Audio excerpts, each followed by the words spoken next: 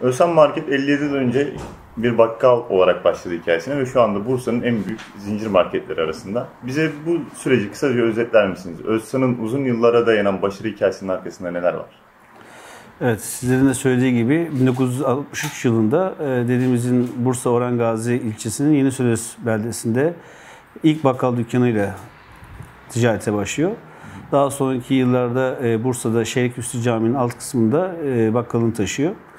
Ve ardından 91 yılında organize perakendeye adım atarak bugün 47 şubesi olan, e, bine yakın çalışan olan bir organize perakendeci hayatını serüvenimiz var. Tabii ben çok kısa anlattım ama bu 63 yılı yani bir süreç çok e, kolay olmadı. E, tabii bu süreç içerisinde gıda toptancılığı dönemimiz de var. E, Tevfik Bey'in, e, Tevfik Özsan ve Mustafa Uluçay'ın beraber ortaklaşa yapmış oldukları e, ve yine aynı şekilde de Özsan Marketler Zinciri olarak da şu anda iki ortak olarak süreçlere devam etmektedir. Peki e, e, Bursa perakende sektöründeki payınız nedir? Bir oran verebilir misiniz?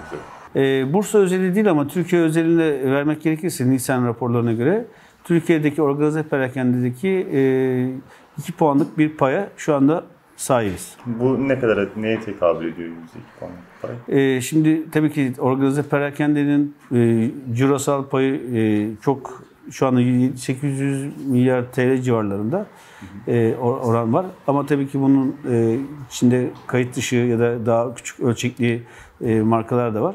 E, biz zincir mağazacılar kısmındaki organize perakende kısmından bahsediyoruz. Anladım efendim. Peki e, pandemi sürecine gelirsek bu marketler için, perakende zincir marketler için büyük bir sınav oldu. Siz bu dönemi hem müşterileriniz hem de çalışanlarınızın sağlığı açısından ne gibi tedbirler alarak geçirdiniz? Tabii bizlerin de hiç beklemediği bir süreçti. Çin'den başlayan bu süreç dünyaya yayıldı. Tabii biz en başından itibaren bu sürecin Türkiye'de gelebilme ihtimaline bakarak e, kendi şirket içerisindeki yapabileceğimiz, başımıza gelebilecek olası senaryoları çalıştık ve öncesinde bayağı ciddi hazırlıklar yaptık. Tüm iş süreçlerimizi daha az dokunmaya, iletişim kurmaya, evden çalışma sistemini yapabilecek e, e, uygulamalar satın aldık. Bilip isminde bir uygulama sayesinde uzaktan e, iş süreçlerimizi bu dönemde çok rahatlıkla yürütebildik. Tabii bunun öncesinde de böyle bir süreçte hem toplumun hem de çalışanlarımızın birçok kaygı seviyesinde ve psikolojik anlamda sıkıntılar yaşayabileceğini düşünerek e, pandemi sürecini başlamadan önce tüm çalışanlarımızdan e, bir anket yaparak onların e, kaygı seviyelerini ölçtük.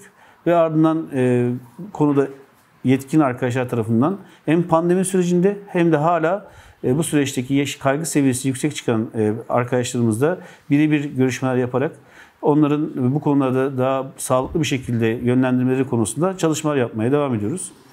Yine e, hijyen konusunda tüm mağazalarımızı, depomuzu ve e, üretim yerlerimizi nanoteknoloji olan e, bir ürün ile ilaçlamasını yapıyoruz düzenli olarak 3 ayda bir.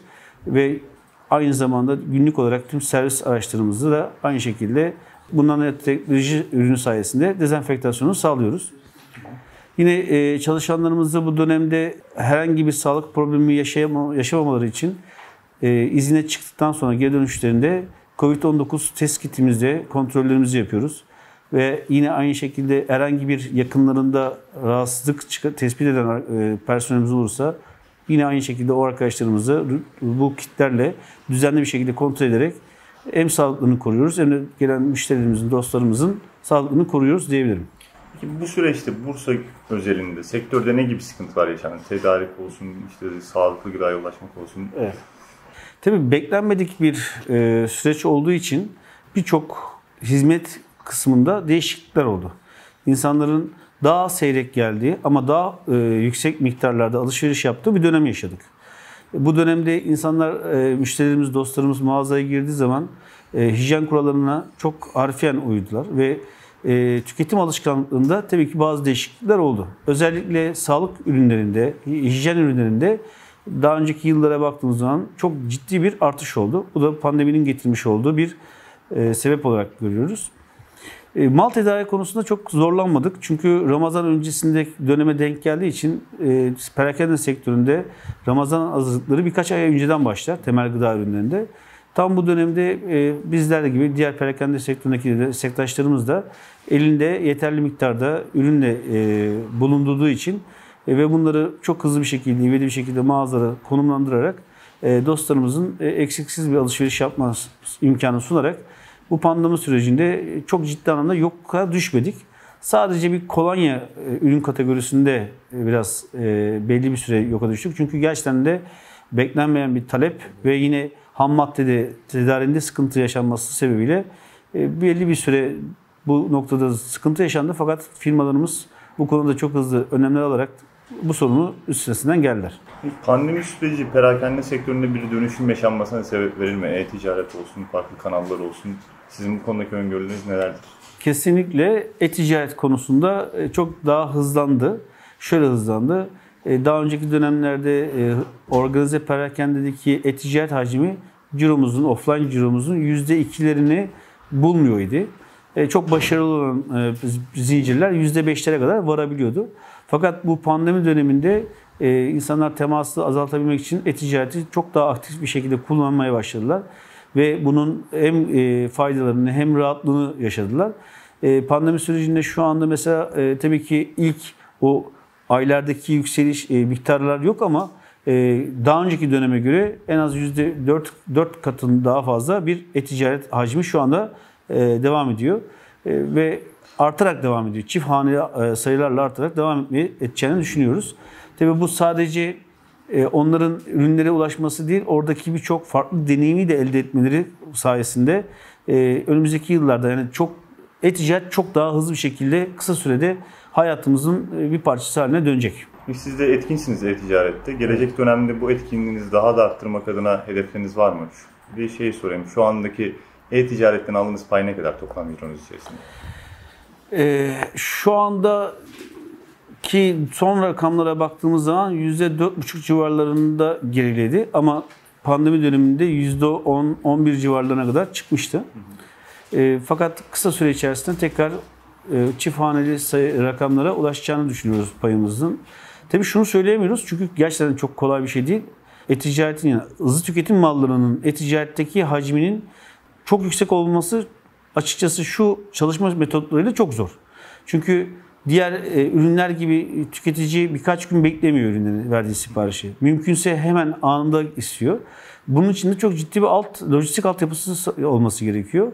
Bu e, lojistik altyapının sağlanması, sürdürebilmesi açıkçası çok kolay değil. E, o yüzden önümüzdeki günlerdeki yeni fırsat bulunan imkanlarla belki bu süreç daha da hızlanacak. Ama e, hızlı tüketim mallarındaki süreç dediğim gibi hacim her geçen gün artmaya devam edecek.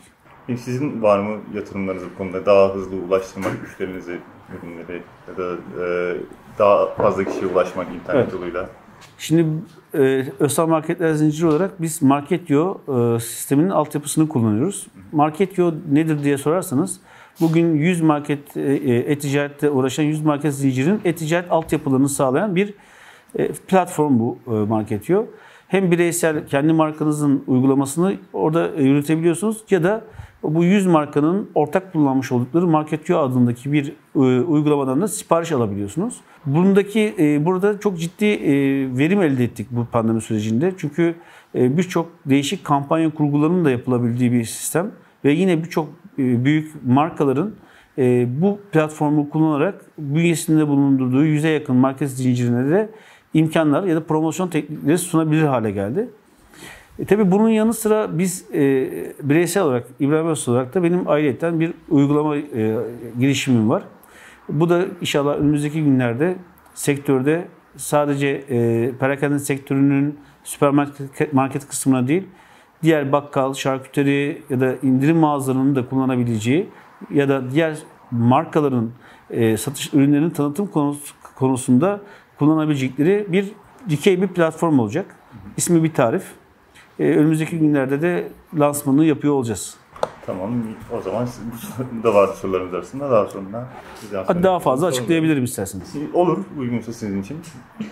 Ee, biz bir tarif platformunda e, şunu hedefliyoruz. Ee, yeme içme odağında olup e, insanların yemek tariflerini paylaşabildiği, bu yemek tariflerini satabildiği ve yine e, beğenilen yemek tariflerinin satın alınmak için talep açılabilecek bir altyapı. E, pandemi süreci olmasaydı biz bunu e, şöyle bir lansmana çıkıyor olacaktık. Ev kadınlarını ekonomiye katma misyonuyla çıkacaktık. Fakat şu anda pandemi sürecinden sebebiyle tanıtımımızı biraz daha öteliyoruz. Tabii ki sadece yemek tarifleri ya da yok. Burada e-ticaret de yapılabiliyor. E, bugün işte Market View altyapısı sayesinde Türkiye genelinde yüz yerel market zincirinden de e, alışveriş yapılabilecek bir altyapıya sahip. Ve yine e, kampanya modülleri ile e, müşterilerin offline yani mağazada da çok değişik deneyimler elde edebildiği ve yine orada birçok kampanyayı aktif olarak yönetebildikleri bir yapıya da sahip. E, birçok ürünün daha mağaza e, satın alma sırasında faydasını ya da o ürünle ilgili yapabilecek olan alternatif yemek çeşitlerini görebildikleri bir yapıya sahip. Mutluyuz, evet, e, umutluyuz. İnşallah önümüzdeki günlerde bununla ilgili çok daha kapsamlı tanıtımlar da yapılacak. Bu anlattıklarınız dışında perakende sektöründe bir dijital dönüşüm yaşanmasını öngörüyor musunuz? Görmüyorum çünkü yaşanıyor şu anda. Çok ciddi ve bu noktada özellikle hızlı gıda tüketimlerinde diğer tüm e, markalar ya da platformlar da bu konuda çok ciddi bir girişim içerisindeler. Şimdi ismini vermek doğru bilmiyorum ama birçok platform şu anda e, hızlı tüketim mallarını e, bizler gibi markaların üzerinden pazarlayabilmek için, satış yapabilmek için görüşmeler yapıyor. E, fakat daha önceki yıllarda bunun oranları çok yüksek olduğu için e, bizim gibi gıda e, hızlı tüketim malları satan markalar buraları çok fazla giriş yapamıyordu ama şu anda komisyon oranlarında ciddi anlamda düşüş yaşandığı için e, onlar da gerçek karlılıklarımızı gördüğü için bu noktada düşüş yaptılar. E, o yüzden de şu an e, birçok marka bu tarz platformları kullanarak e, müşterilerine hizmet götürmeye çalışıyorlar. Peki bize kısaca gelecek dönemde hayata geçirmeyi planladığınız projelerden, yatırımlardan bahseder misiniz? Daha fazla mağaza açmayı ya da e-ticaret alanında, dijital alanda yatırımlar yapmayı düşünüyor musunuz?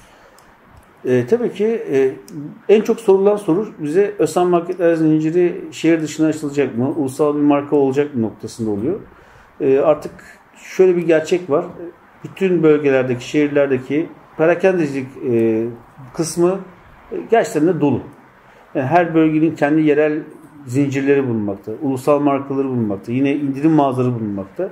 Açıkçası buradan e, Bursa'dan çıkıp da başka bir ilde e, başarıyı yakalamak çok kolay olduğunu düşünmüyorum. Çok ciddi rekabet gerekiyor. Çok ciddi emek gerektiriyor. Fakat e-ticaretin bize getirmiş olduğu fırsatlarla aslında artık biz ulusal bir marka haline dönüştük. Yapacağımız çalışmalarla ve lojistik hizmetleriyle aslında bugün Türkiye'nin dört bir yanına, dünyaya hizmet edebilir bir hale dönüştük. Ben Özsam Marketler Zinciri olarak e, yayılma politikamızı şey, Bursa şehri dışında açıkçası e-ticaret üzerinden yapmayı planlıyoruz. Orada farklı metotlarla, farklı e, alışveriş deneyimleriyle Özsam markasını ve Özsam markasıyla bilinen özellikle şarküteri grubu, sebze meyve ve et ve meze gruplarını Türkiye'deki dostlarımızla buluşturabilecek bir altyapı üzerine şu anda çalışmalarımız yani, devam etmekte. Şey diyebiliriz, önümüzdeki dönem yatırımlarınız daha çok teknolojik e-ticaret alanında olacağını söyleyebiliriz. Kesinlikle. Tabii ki offline dediğimiz yani market, market kısmında da tüketicinin dijitalliğe yakın bir şekilde onların yeni deneyimler, deneyimler elde edilmesi için de birçok yenilik ve kampanya şekilleri de geliştiriyoruz. Peki efendim. Son olarak sizin bir aile şirketi olarak aile şirketlerindeki sürdürülebilir başarının anahtarı size göre nedir? Bana göre en önemli konu aile anayasası. Aile şirketlerinde mutlaka olmazsa olmaz e, en önemli konu diye düşünüyorum. E, bunu yapan, anayasasını oluşturmuş, yazıp çerçevesini belirleyen şirketler e, bu nesilleri aktarabilecek olan şirketler olarak görüyordum. Bu konuda Özal Marketler Zinciri olarak ben üçüncü nesil perakendeciyim. E, dediğimizin başlattığı yolda e, üçüncü nesil olarak hizmet etmekteyim. E, ve niyetim ve umudum inşallah çocuklarımın da e, bu süreci devam ettirmeleri olacak. Tabii çok zor. Fakat e, artık ülkemizin e, teknolojiye yakınlığı, bilgiye ulaşmak konu sayesinde çok rahatlıkla aşılabilecek olduğunu düşünüyorum. Herkese de tavsiye ediyorum. İbrahim Bey son olarak gazetemiz aracılığıyla Bursa kamuoyuna vermek istediğiniz bir mesaj olur mu? Ee, ben teşekkür etmek istiyorum ve yeni yayın hayatınızda da başarılar diliyorum. Çünkü 1 Ekim'den itibaren bizleri çok güzel sürprizlerin beklediğini biliyorum. Ve heyecanlanıyorum. Umut ediyorum ki e, sektörlerle ilgili alacağımız doğru bilgiler sayesinde hem işimize hem de hedeflerimize belirleme konusunda çok daha e, doğru kararlar alabileceğimizi düşünüyorum. O yüzden sizlere de kolay gelsin diyorum. Çünkü o kadar yüksek e, süreç, çok ciddi bir gündem var ki e, bunu takip edip bunları doğru bilgileri bize ulaştırmanız açıkçası bizler için çok önemli olduğunu söylemek istiyorum. Çok teşekkür ederim İbrahim Bey. Sağ olun. Sağ olun.